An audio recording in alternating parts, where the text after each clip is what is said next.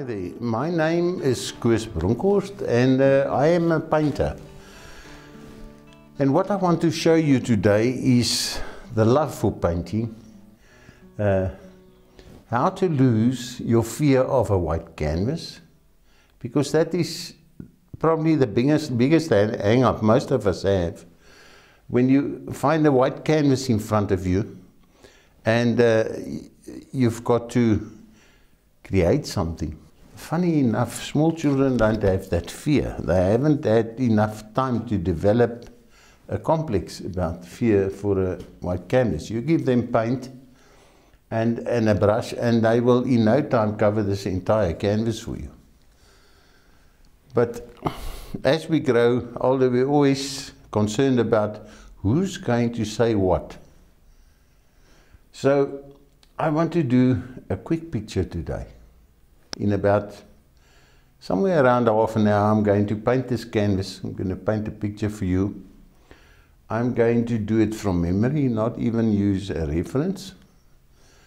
And I will uh, show you how you can quickly cover a canvas and develop a love for painting and lose your fear for the white canvas. I'm going to start blocking in, maybe just get this a bit down so that it can hold my uh, canvas so that I don't, and you can see I'm spreading the um, cobalt blue all over the place. For this picture I um, decided that the light on the landscape will come from the left hand side. So the darkest blue is going to be on the right hand side. And uh, I just work it wet my brush just the, the point the tip of it I wet it in uh, um, my painting medium painting mediums. You can decide which one you want to use. You can use linseed oil. You can use what the Americans call paint thinner. And yeah in South Africa of course if you talk about paint thinner it is something that will destroy your canvas. It's something that you use to clean brushes and stuff with. Anyway and I go lighter as I go to the left because that's where my light source is. It's as strong as the uh, and at the same time now I'm getting my canvas. You can you can hear the the grain of the canvas as I work with the brush across it. Uh, that is because it's slightly textured. Now I can of course go over this and put the next layers of paint across this if I feel like it or if I need it. Work it down. Uh, the blue of the sky is not always the same. It all depends on which country you're in or uh, what time of day it is, what kind of weather it is, that kind of thing. But cobalt blue is a, a very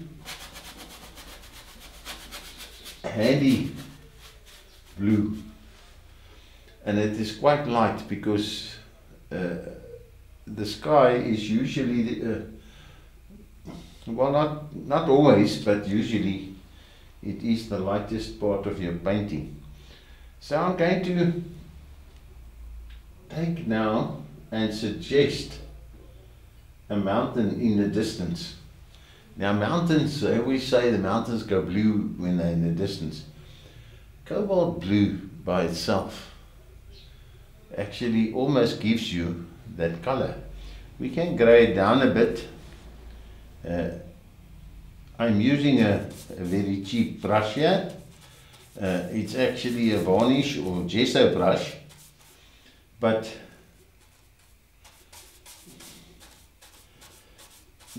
I don't need to use a more expensive brush, especially for this. And I've added to this blue now, I've added a bit of uh, um, uh, burnt sienna. The burnt sienna is, which is the red oxide. And you can see the uh, mountain and I'm working like with the corner of the brush. Not, not really concentrating too much. Just make the mountain range it's your own mountain ranger, so you can actually call it what you like. And you, you can also construct it yourself. One of my friends used to always say you can't manufacture a picture. But this is like sort of from memory and from what I've done before. I, in fact, I think I painted this as a demo twice in the last week. So that's why I decided to do this as my first video. Um, that and I can of course make it darker later. I'm just doing the indication. And when you're using the cheaper brush now and again you will get the hair. Until you've used it a few times and cleaned it. And then it will uh, once it's lost a lot of the hair it will uh, it will be fine. So I'm, I've got Van Dyke brown here. Now that is uh, something between I would say burnt sienna, raw umber and uh, burnt umber and it's a nice color and I've got Terra Verde. It's an earth green and I'm going to block in a suggestion of uh, trees, a clump of trees it's quite a bit darker and more solid now and I'm going to try and do this picture as quick as I can. The one thing that discourages people from painting is when it becomes a schlep, is when you, you've got to spend too much time on it. Now of course I can refine it and I'll take that up a bit higher I can refine it later on. I allow some of the direction strokes of the brush show and it will have an effect on the final coat of my paint, of my painting. Taking more of that and adding a slight bit of the other blue that I use, so I've got green, brown and French ultramarine, which is a darker blue.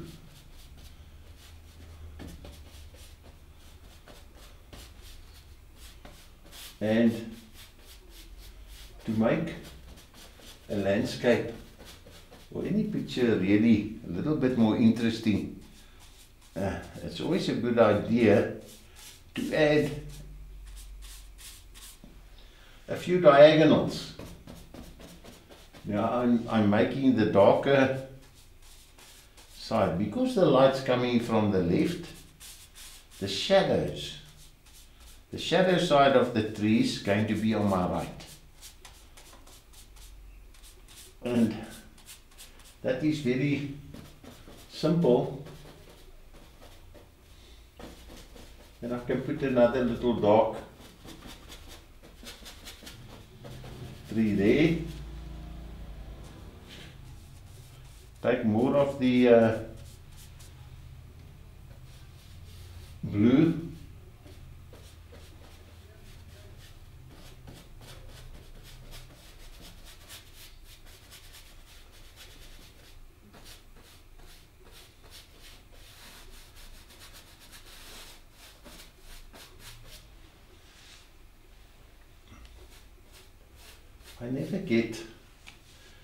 think it's a good idea to, to ever have something dead center in your canvas, so if it's a mountain or whatever, it's always just above or below, or even better, towards the thirds of the canvas.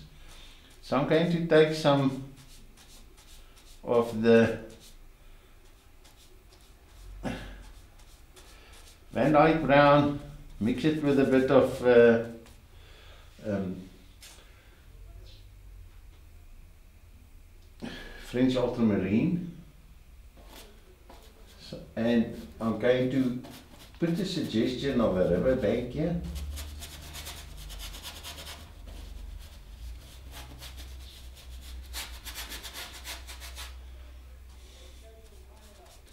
Composing it and imagining and recalling even from memory some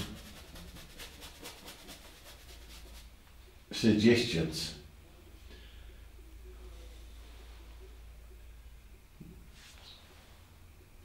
Another here, remove that.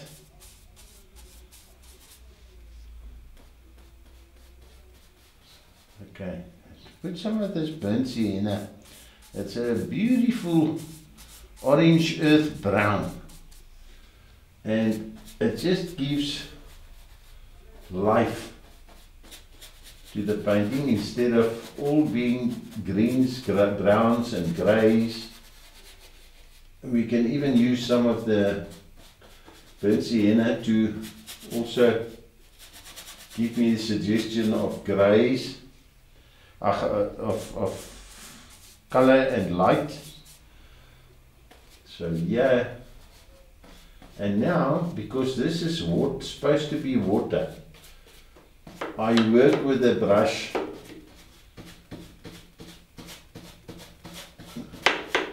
vertical. Gives you the idea of reflection and even though this is now a river, it's moving water so you will still get the idea of a reflection. And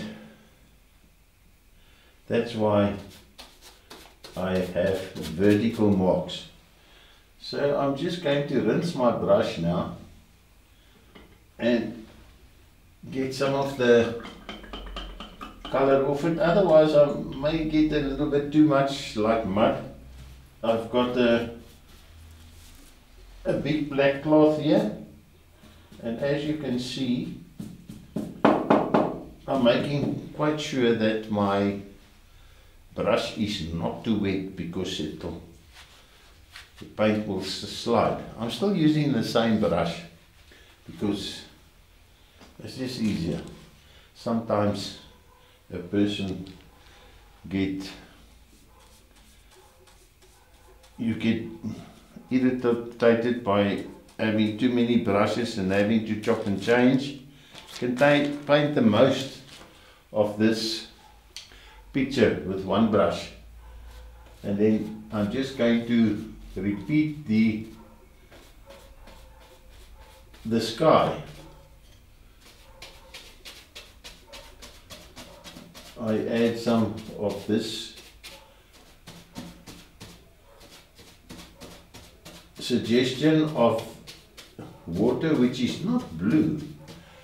The, the suggestion that the water is blue is because it reflects the sky. The water works like a mirror. And I go a little bit lighter. I've got two whites here. One is a warm white, one is a titanium white. Now these whites are not readily, readily available all over the world. This was the creation, manufacturing of a friend of mine who's also a good artist and his name's Joe. So thanks Joe for giving me this to work with. I'm trying to cover this white canvas as quickly as I can. The quicker you do it, and you can see I've got this black cloth here that can soak up. And I can even slap it on the easel to make sure that there's not too much weight left there. And then I'm going I've got cadmium yellow here. This is cadmium yellow. And I just put it like sort of across the light's coming from the right hand side and this is like sort of the green where the the light is actually catching it. These darker spots I imagine is uh, they are the shadow parts of the grass and then just there on the horizon line I'm going to take a little bit of this Van Dyke brown mix it with the yellow which is going to give me a suggestion of green.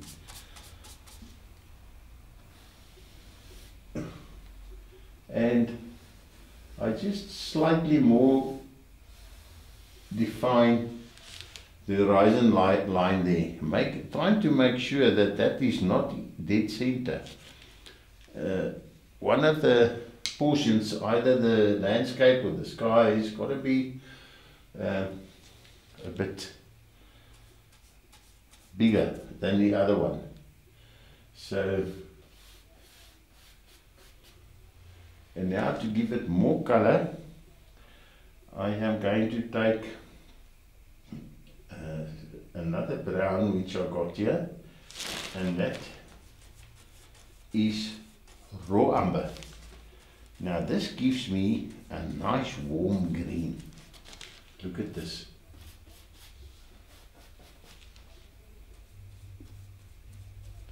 Nice warm green. And I can make it give it more sunlight. Here and there the sun is going to catch stronger on the tree. And it is of course this because it's coming from the left the sun this is going to the light side of the trees the foliage is going to be on the left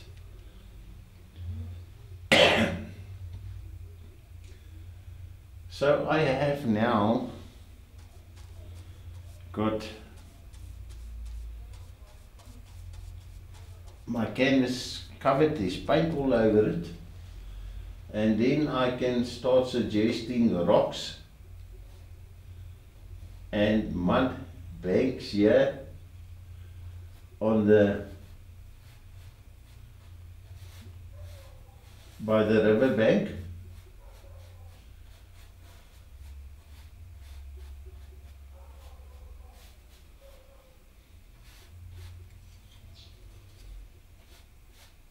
There, there, just remove it.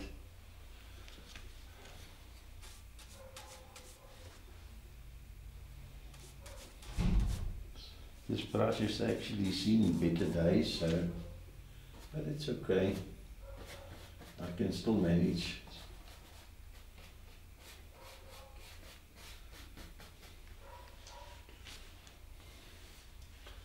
I want to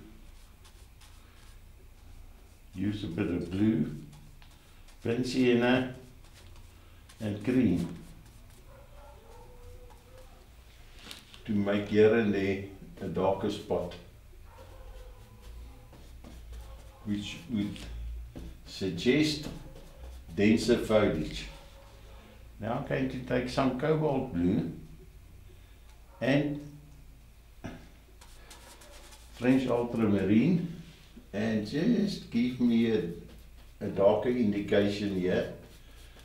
To give me a sharper contrast. And the chance to make a stronger counter change on between the dark areas and the sunlight. I go over the cad yellow that I put here and that makes it a little bit more natural.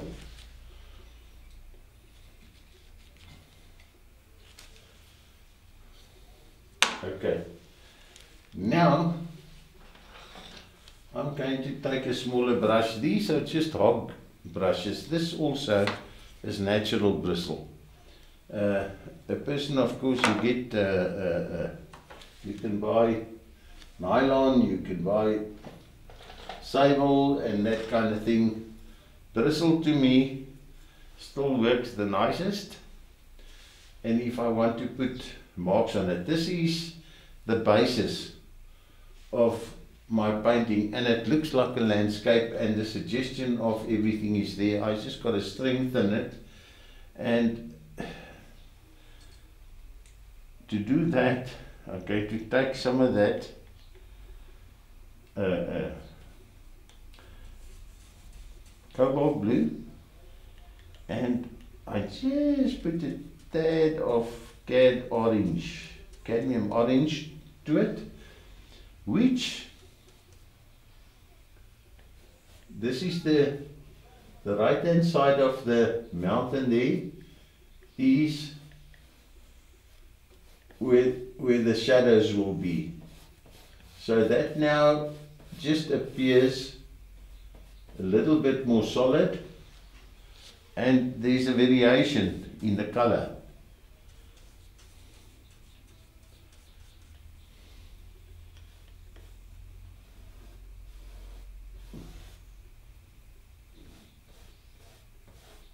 Try and get it to look a bit more 3D. A little bit of blue, the cobalt blue and white. And put it with that orange and make it look more solid. In other words, the, the paint is now less translucent, although the mountain still has the overall effect of being slightly translucent because it's in a distance. And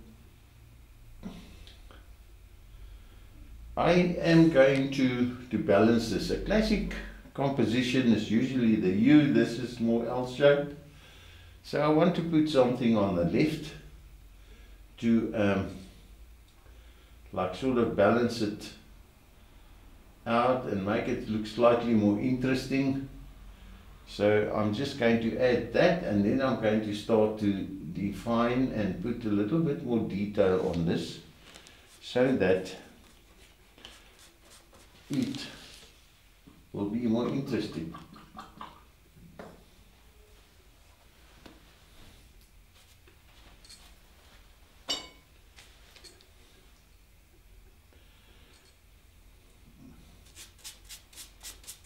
It's not necessary, I can take this cadmium yellow and uh, cadmium orange, mix it a bit, but uh, if you know want to save my time, myself some mixing time, I will take a cadmium yellow deep.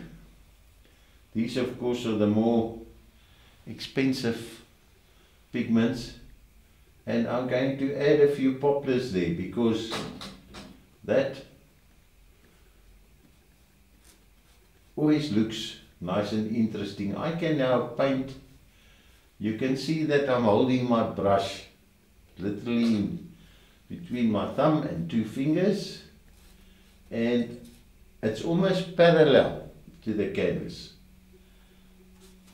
which gives me okay there's a bit more green just a touch of it because sometimes the green is more than one poplar there but it must be really more towards yellow and even orange. I can put some of the burnt sienna and raw umber and also do vertical strokes.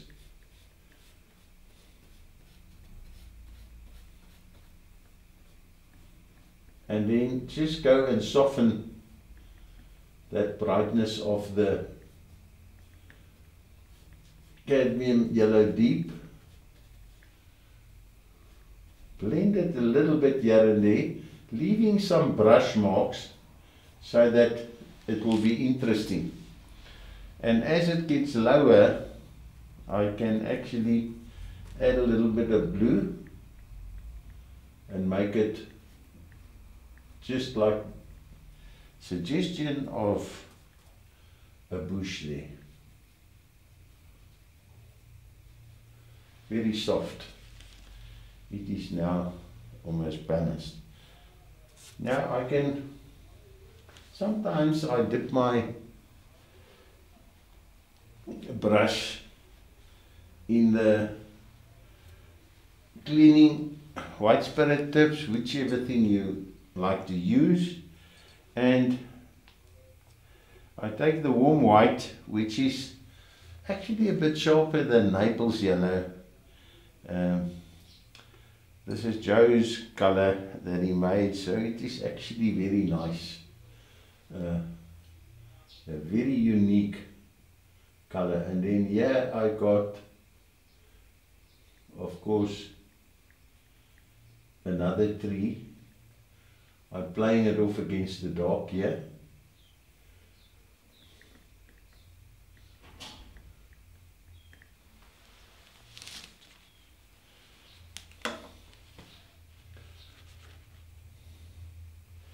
Now I'm going to take maybe brush one a bit smaller and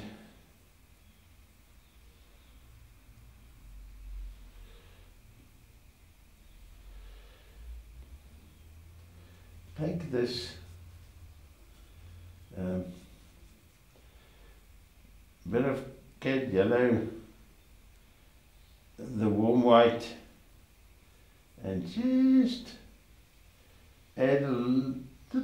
touch of green, just to break it.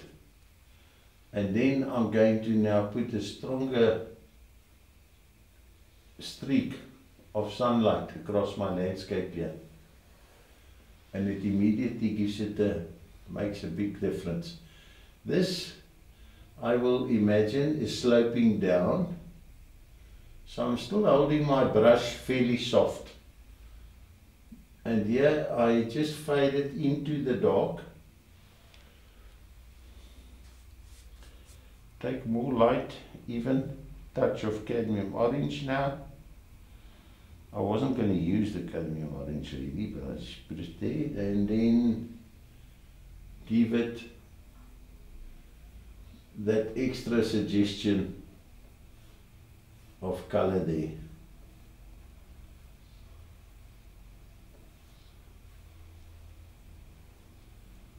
Another streak of sunlight falling on the bank here. and then you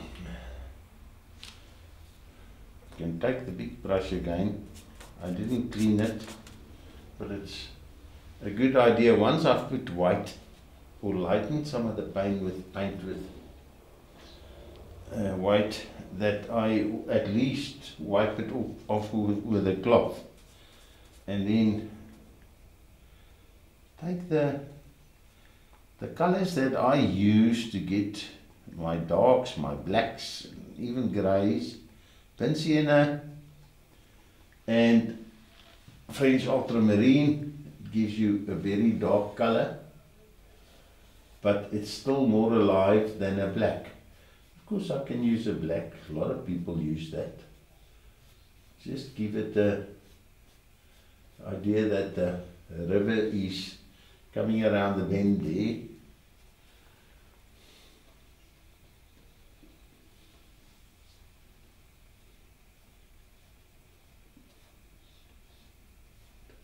Vertical for reflection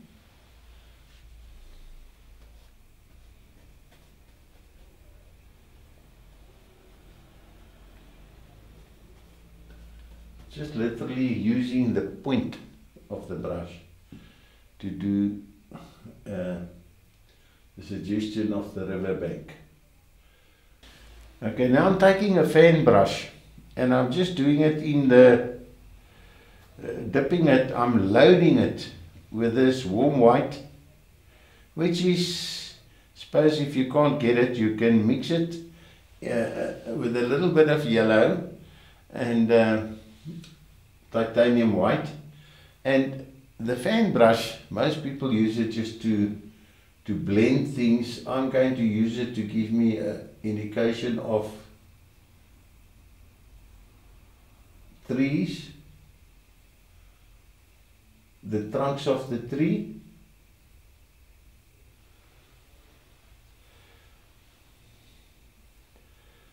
Just put a slight suggestion here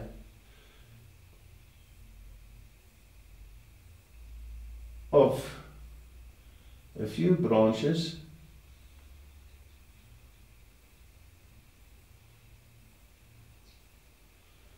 And it's already if I put too much detail here it's not going to look nice. So I just put the suggestion there. Then I can decide if I want to do a bit of burnt sienna mixed with that white which gives me a bit of a thicker trunk and just leave it like that.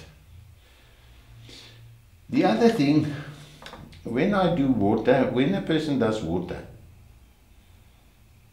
if the river is flowing into the picture, the, the ripples will be this way.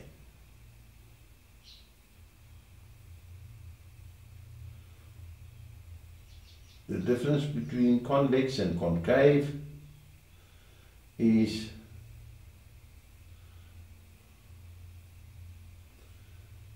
the difference between a river running away from me or running out of the picture. If I do it like this, it means the water will be coming this way because the the, the edges of the banks that gives it the direction. It slows the water down.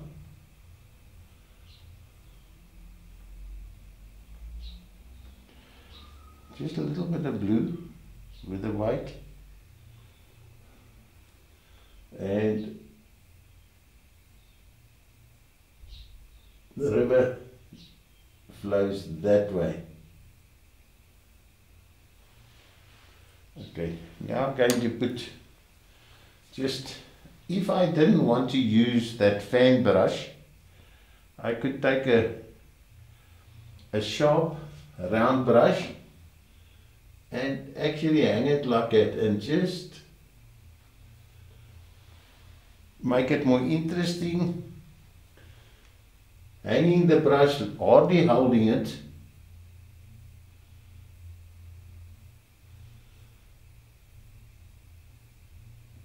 And just do it uh, a little bit more natural.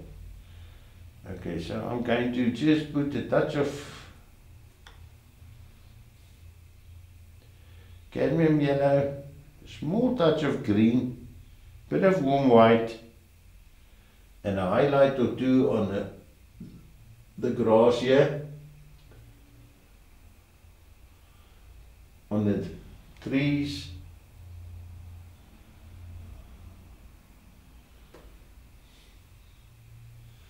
And then I can start mixing uh, thicker paint if I want. I'll just show you one spot um, take some titanium white with a cobalt blue, mix it.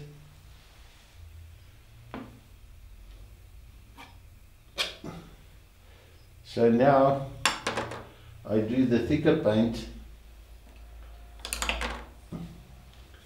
Just to make it more permanent and let's see through more the finish of the uh, brush and the, the surface of the canvas looks more finished. Take a little bit of warm white, mix it with titanium white and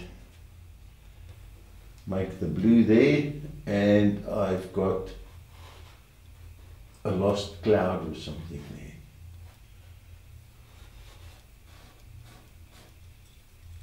Can just take uh, maybe a little bit of cadmium orange and mix it with burnt sienna just for on the riverbank there. Yeah I've got color coming through there. Just fade it in. It's just for um, little bit more interesting. I can put cattle on here I can put anything on here and just in the center here I can do the water stronger sunlight there. If I need to take my finger soften some of that just with a finger like that and I've got the basic picture done. Okay now I've allowed this to dry a bit. The the whole the entire surface of the canvas and now I've still got some quite a bit of paint on my palette and it's it's not that I don't want to waste, it's just that I'm going to repeat some colors all over the place here and put a couple of highlights. It won't take me long because from here it's so very easy to overwork the picture and then it will really, uh, I won't be happy with it and nobody else will either. So I'm going to just um, get some little bit more dark in the distance here. And this is very thin paint, it's like almost like a glaze.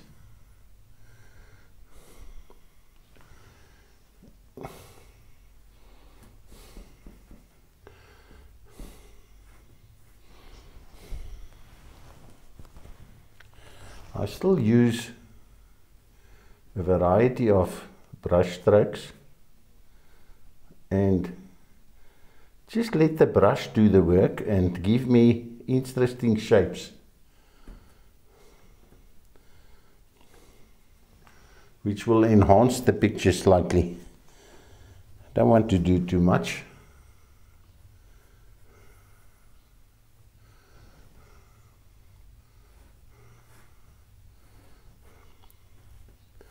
Strengthen the some places.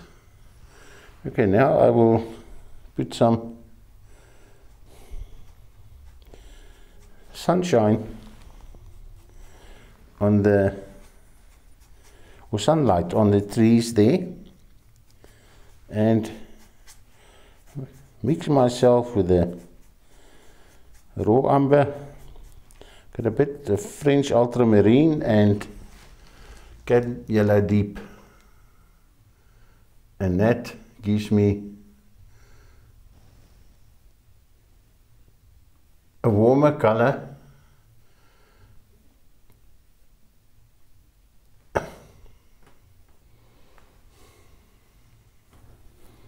repeat it in the front of the painting in the foreground. There is a bit of um, you see, I don't mix it all together. So there's a bit of uh, French ultramarine came through strong. Then I'm going to do it here by the river, just a slight bit of detail, which will enhance the picture without spoiling the overall. I'm working with a soft brush here.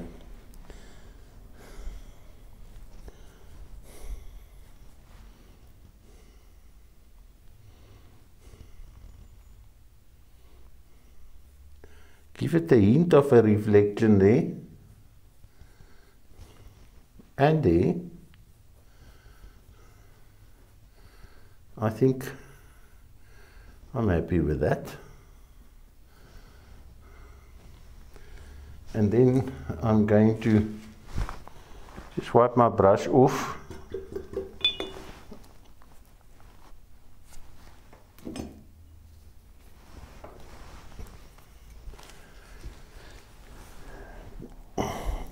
Strengthen the color a little bit in the water. So I've got uh, I've got cobalt blue and titanium white. Just strengthen it here slightly. One or two marks of color. It will also enhance the feeding of water.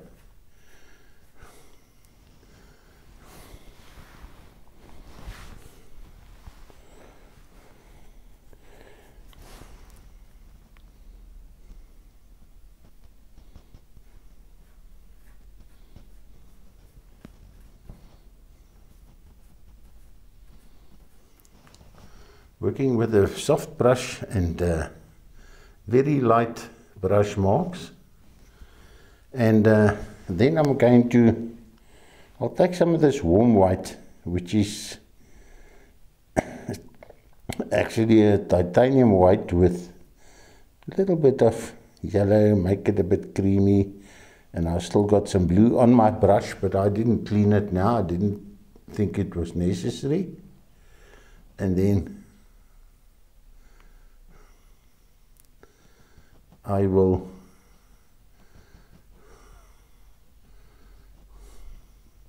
Suggest the movement of the water here with highlights even across here. I can do it.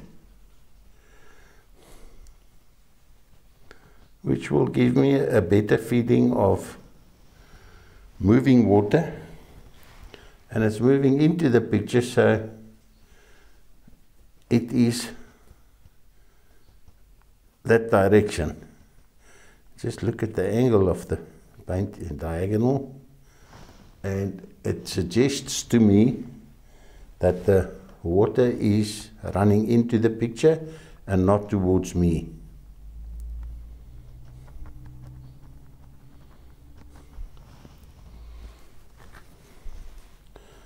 Maybe strengthen the sunlight there on the on the meadow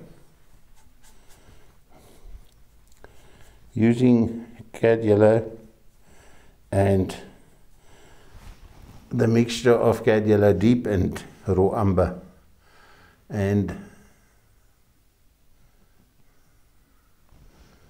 just gently and this is called scumbling the the brush is hardly touching the canvas. It's only the paint really that the brush is loaded with that's giving me marks. And it's almost flat. The brush is almost flat on the uh, canvas and I think you can see that I'm improving this now the danger of course is from here. It's so easy to overwork this picture. So I'm going to take a bit of lighter green to make with the umber and cad yellow deep, touch of white, and very lightly just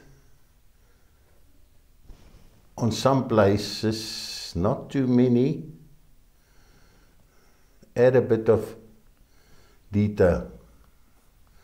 I'm allowing the brush to do the work here for me. I'm not really putting any pressure on it. Okay, and now when I look at it, I think I can just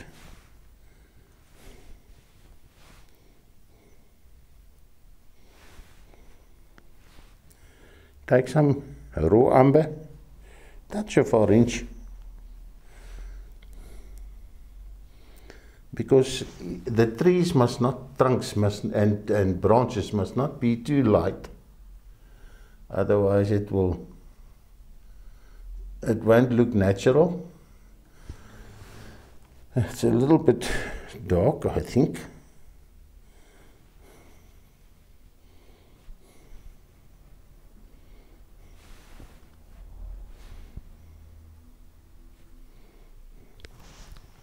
and then just let the, the brush do some work for me.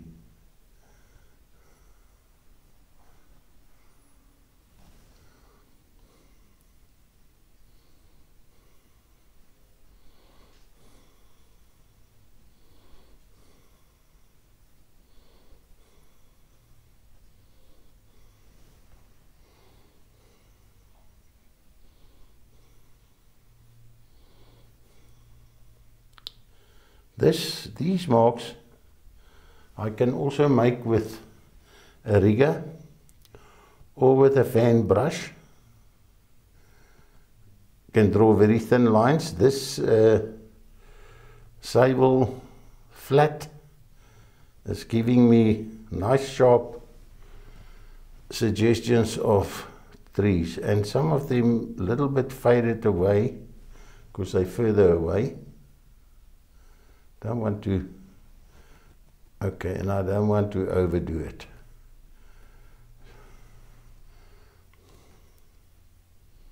Just repeat a bit of that three color there, the, the trunks color, which is like almost a salmon, very light salmon.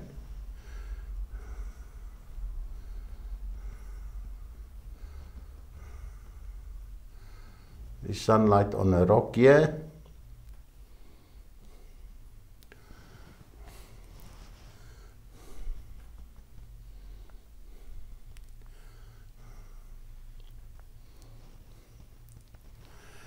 And I think I'm done. Um, if I put too much on here, the picture may look overworked. And I think I've got a nice impression here of a very peaceful landscape. Uh, so that's it. I'm not going to do anything more apart from signing this picture. If you like this video, please go down below, like and subscribe so that I can give you more videos and uh, we will progress and make more complete and uh, intricate paintings.